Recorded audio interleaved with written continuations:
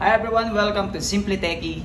Sa pag-uusapan natin ang iBuyWind tempered glass para sa Poco F3. If you're looking for a perfect tempered glass para sa inyong Poco F3, well, I will highly recommend this tempered glass for you. So ngayon, pag-usapan natin, unbox natin to, tingnan natin yung mga laman, inclusions, at papakita ko rin sa inyo kung paano to install sa inyong Poco F3. So let's start this video and let's roll the intro.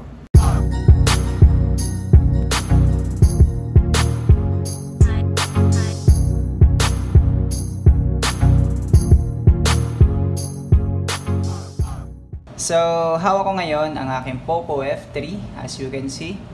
Ang ating poging-poging phone. Meron na tayong protection. Kung di nyo pa napapanood yung review ko about sa ringy case na to, panoorin nyo dito sa aking channel. Meron akong review dyan. Siyempre, kung meron tayong magandang case, kailangan din natin ng premium na tempered glass. Pinadala na ako ng iBuyWind ng tempered glass. So, although this is sent to me by iBuyWind PH, I can assure you guys that uh, this review is not a biased review. So, sasabihin ko sa inyo talaga kung ano ang aking nakita, ano yung gusto ko sa tempered glass na to. Yan. At maaaring yung mga maayawan ko sasabihin ko sa inyo. Let's unbox this.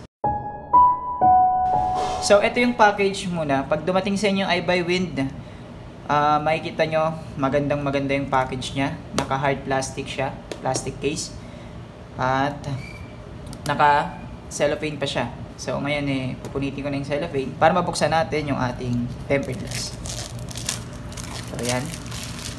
Pinadala to sa akin straight from China. Kaya medyo matagalan yung deliver. So kung order kayo nito, expect nyo na habang wala pang stock dito sa Philippines is manggagaling pa to sa China. So about a week bago siya makarating sa inyo. So ito yung iBuyWind.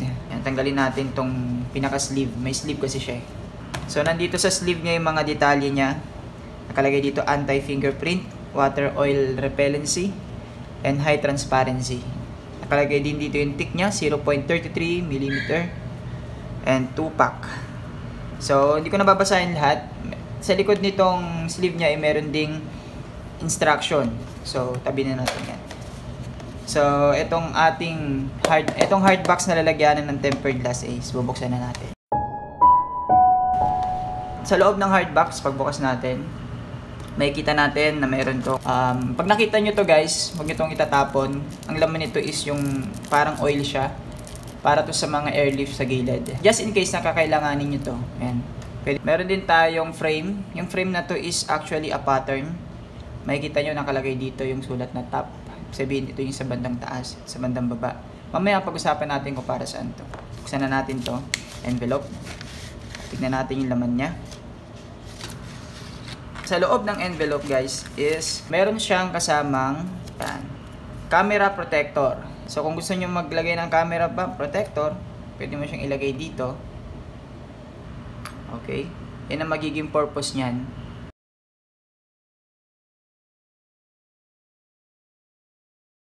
Kakaroon ka ng camera protector. Meron ka rin makukuha carbon fiber sticker. Yan. Sa likod.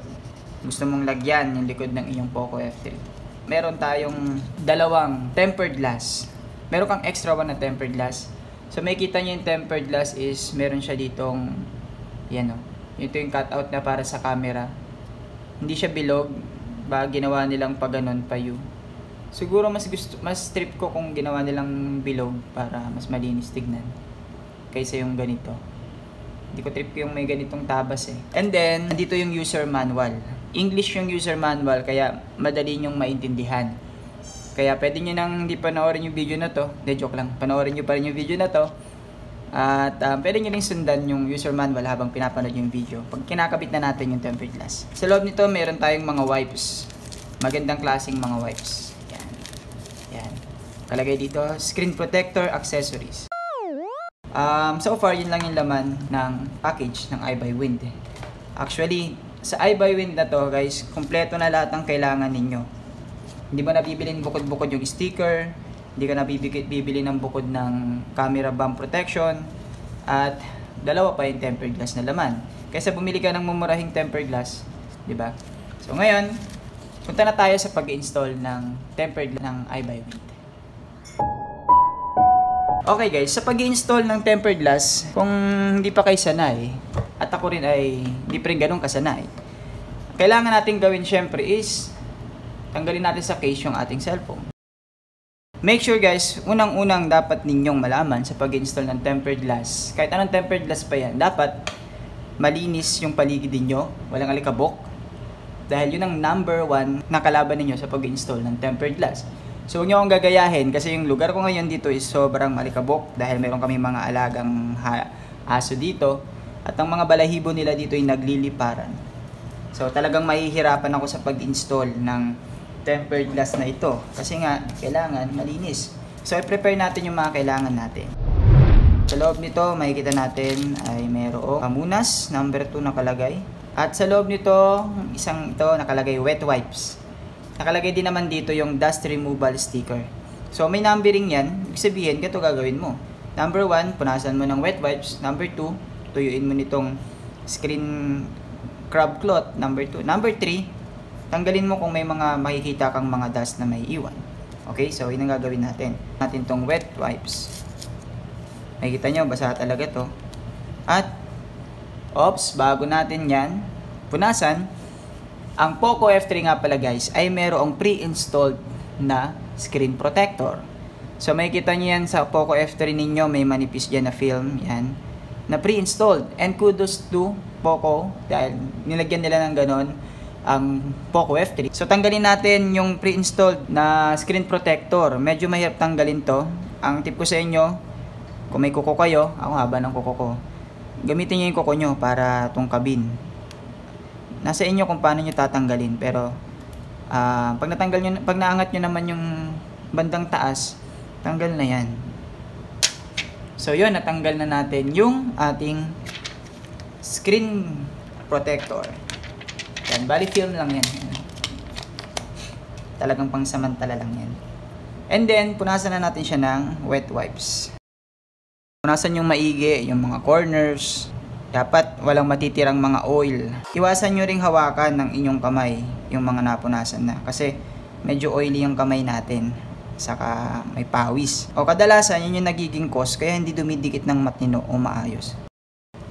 So once punasan na natin ng basa, kuhain na natin tong tuyong cloth at punasan na rin natin siya nitong tuyong cloth.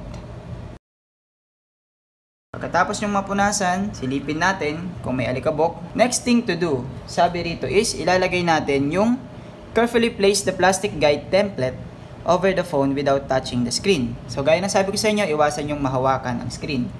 So ilalagay na natin ngayon itong plastic template. Kung nasan yung top, doon natin ilalagay yung top.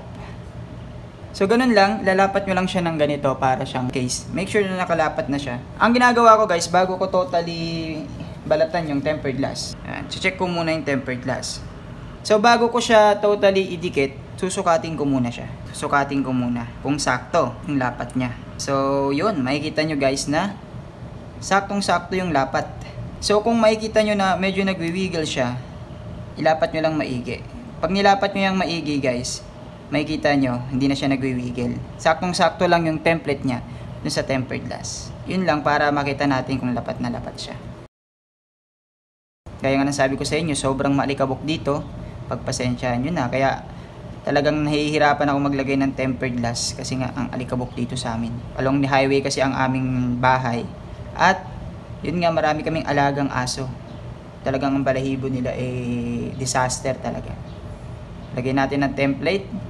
Silipin natin kung mayroon pang mga natitirang mga alikabok. Kuhain natin itong sticker. Ang purpose ng sticker na to, hawakan nyo sa dulo kuhain nyo yung mga alikabok na possible na naiwan sa screen. So, ganyan lang magtanggal ng mga alikabok. Ingatan nyo rin na yung template nyo wag umangat. So, ngayon, pabalatan na natin to. Parang tag, tanggalin nyo to. Para mabalatan natin maigi yung tempered glass. Kung saan kayo komportable, ako pa ganito, paslant. Depende na sa inyo yan kung saan kayo komportable. Pag natin patagalin yung tempered glass na hindi nilalagay kasi magdidikitan dyan yung mga dust. Simulan natin sa taas. Yan. Pag ako nag install ng tempered, palaging nagsisimula ako sa taas. At ang uh, ginigit na ako maigi. Pagkagitna, bitaw. and then hagod sa gitna. Yun. Pwede na natin tanggalin yung template. Yun. So makikita nyo guys, lumapat na yung tempered glass ng Eye by Wind. Makikita nyo medyo may mga bubbles-bubbles dyan. Silipin nyo kung meron siyang dust. Kung wala naman siyang dust, ibig sabihin, bubbles lang talaga yun. Ang gagawin natin is, punasan lang natin, diin lang natin ng konti para mawala yung bubbles. Gently lang guys. Kung hindi naman alikabok yung cause ng bubbles, ano lang yan, trap air. So makikita nyo guys, ako ma-appreciate nyo sa video, na dapat na lapat yung ating eye by wind. Wala siyang, hindi na natin to kakailanganin kasi, ano na siya eh, wala siyang air lip sa gilid. Talagang lapat na lapat siya.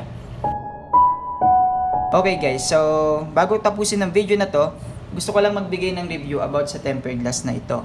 Actually guys, ang tempered glass nito is oleophobic. Meaning ng oleophobic, siya ay water repellent. Okay guys, to prove it to you, kumuha ko ng tubig at papatakan ko siya ng tubig.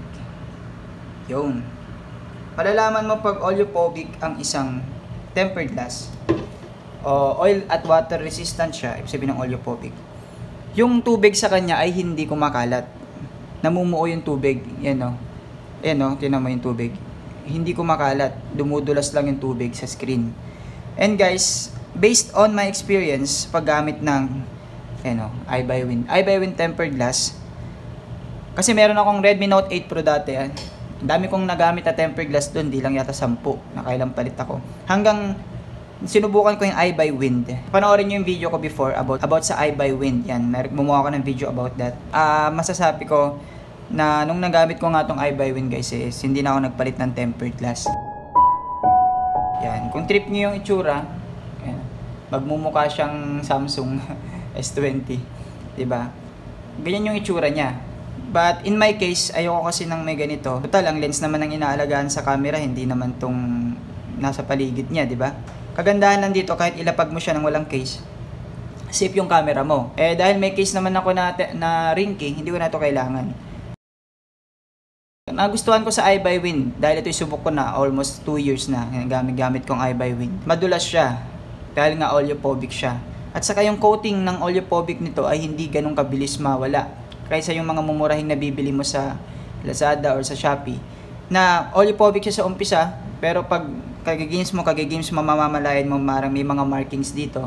Dahil yung oleophobic coating niya, mabilis na nawawala. Pagtatanungin nyo naman kung full tempered ba siya, guys, hanggang dun siya sa part na pwede mong ilapat yung tempered glass. Kasi itong ating phone is may pagka-curve yung gilid niya. Diba, alam ko ito, tatanong nyo rin kung hindi ba siya tatama sa case. So, subukan natin kung lalagyan natin ng case yung ating Poco F3.